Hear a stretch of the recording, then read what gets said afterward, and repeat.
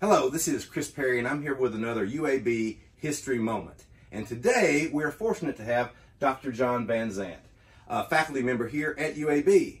Dr. Van Sant, what is it that you do here?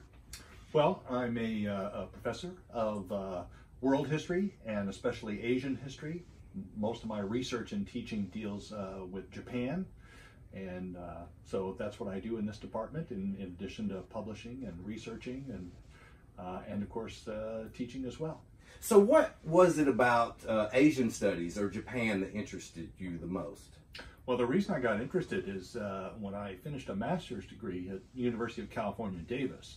I got a job teaching in Japan, which I had previously not studied really any of. Uh, but soon as I got there, I immediately realized this is what I wanted to do, was to teach and research about Japan and Asia as a whole. Oh, that's fantastic. And you also do Vietnam, correct? Yes, yeah. Actually, that was my main, that was my initial interest in Asia, was uh, Vietnam and the Vietnam War and then uh, it, could, it expanded to uh, Japan and the rest of Asia. Yeah, this is this is a fantastic. You know, learning more about Vietnam is something that most of the students that I have actually ask me about constantly. Uh, I do have one last question because I know you're you're a busy man. Um, the Last Samurai, the movie with Tom Cruise. Right. How true is that?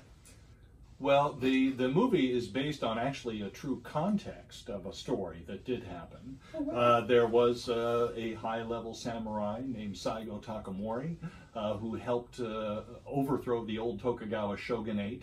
However, he became disillusioned with the new Meiji oh. government uh, and he left the government and then he reluctantly led a rebellion against it. So that part of uh, the story in the movie, The Last Samurai, is actually true.